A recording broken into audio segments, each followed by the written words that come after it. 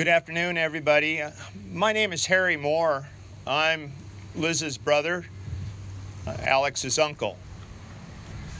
I uh, am here with many of our other family members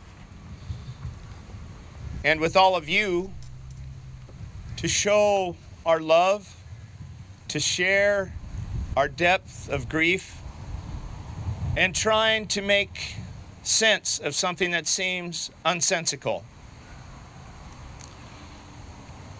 In this large group of individuals, I, I realize that there are many faith traditions present.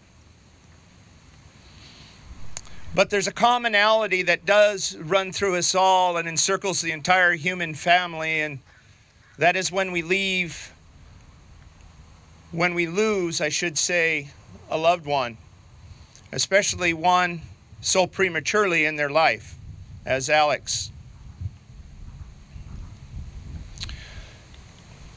During today's celebration, there's going to be opportunity to reflect in song. There's going to be opportunity to reflect in sacred silence, allowing that small, still voice that is present in our hearts to speak to us. There will also be a couple of opportunities to come and express what you may feel here with this microphone.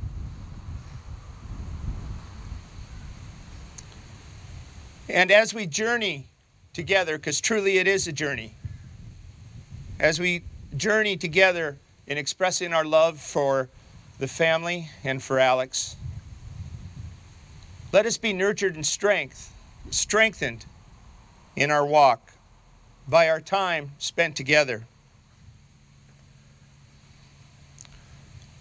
With that said, I'd, I'd like to invite Kat to please come forward and Karma to please come forward and share an opening song, expression of faith and of love.